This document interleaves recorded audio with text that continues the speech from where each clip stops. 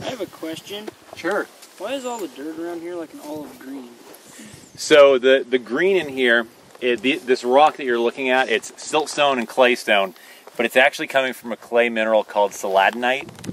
And celadonite is a weathering product of kind of ashy soil. So all this rock that you see everywhere, it's coming from volcanic ash. That's what is the, the sediment that built up and buried all the things here through time was coming from volcanic eruptions.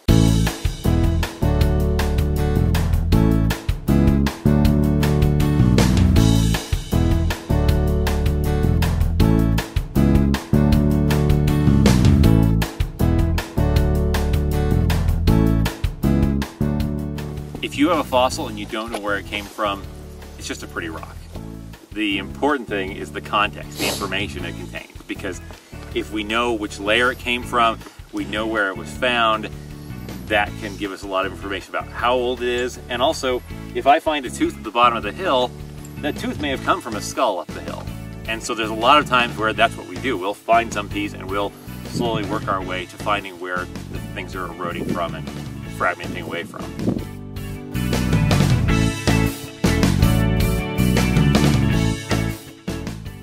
The guys here a few years ago actually found a piece of a bat jaw. We don't have any bats in the fossil record from Oregon, really. So that is a very significant, noteworthy thing. We don't know what bats used to live here. And so these tiny things that we can find, they end up being really important. So the, the saber tooth might be uh, uh, an interesting, sexy thing to see. And we, we find giant hell pigs out here, we find rhinos, but a lot of these other things are the kinds of things that, that may be new to science and nobody's seen before.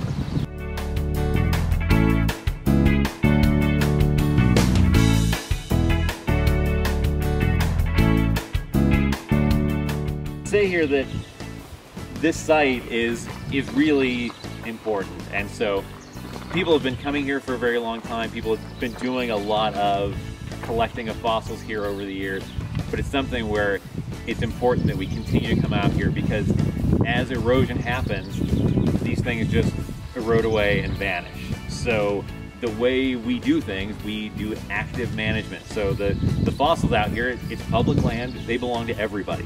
So our job is to go, go find them, bring them back to the museum, preserve them so future generations, everybody can see them, they can enjoy them, they can learn from them. And getting out here and doing that active management means that we find things before they turn to dust.